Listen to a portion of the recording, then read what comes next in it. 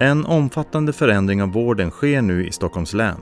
Här ska landstinget investera 25 miljarder kronor i vårdfastigheterna och 3 miljarder i den medicintekniska utrustningen under en tioårsperiod. Det här är en av de största satsningarna i landstingets historia. Vi har sjukhus som behöver moderniseras och eh, Stockholm växer. Det kommer två SL-bussar varje dag med nya invånare. Vi får också tänka på att eh, befolkningen i Stockholm blir äldre och har ett ökande vårdbehov. Lokum förvaltar vårdfastigheter för 2,1 miljoner kvadratmeter som motsvarar 210 Hötorgsskrapor eller sex Gamla stan.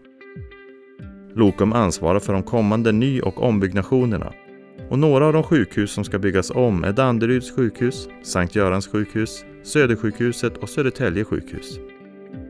Satsningen på akutsjukhusen skapar 221 nya vårdplatser, vilket ger cirka 21 700 nya vårdtillfällen.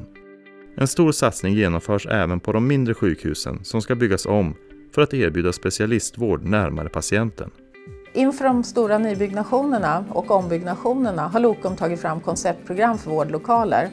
Vi har gjort det för sjukhusentréer, för nybyggnation och för rum på vårdavdelning. Syftet med konceptprogrammen är att skapa flexibla vårdlokaler, det ska vara kostnadseffektivt och det ska vara attraktiva lokaler, både för patienter och de som arbetar i lokalerna. Konceptprogrammen de används också av många andra landsting, vilket vi ser som väldigt positivt.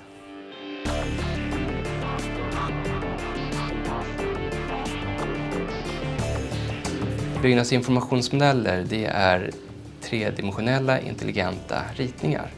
Lokens ledning tog ett tidigt beslut om att börja använda BIM för att man såg de positiva effekterna för våra kunder. I projekt så använder vi BIM-modellen för att kunna göra samgranskning utav installationer. Vi vill till exempel hitta kollisioner mellan kabelstegar och ventilationstrummor och där vi gör eh, håltagningar i bärande delar och så vidare och där pelare går rakt genom bjälklaget. De kollisionerna vill vi hitta redan i projekteringsskedet i våra virtuella modeller för att slippa det ute på arbetsplatsen. De nya fastigheter som vi bygger och i de fastigheter som vi gör större ombyggnationer, de ska vi certifiera enligt miljöbyggnad nivå guld.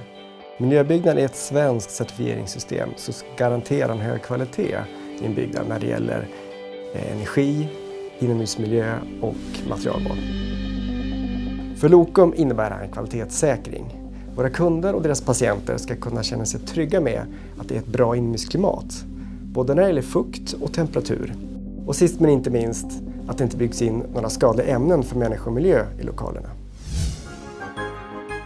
Här på Lokum finns en mängd kompetenser inom vård, teknik, byggande, fastighetsförvaltning och fastighetsutveckling. Vi har utvecklat ett samarbete mellan våra medarbetare, våra kunder och våra samarbetspartner och det har gett resultat. 2013 vann vi priset Årets bygge för Helix, en ny rättspsykiatrisk anläggning i Flemingsberg. Så det är med stor stolthet som vi genomför denna unika satsning för vården i Stockholm.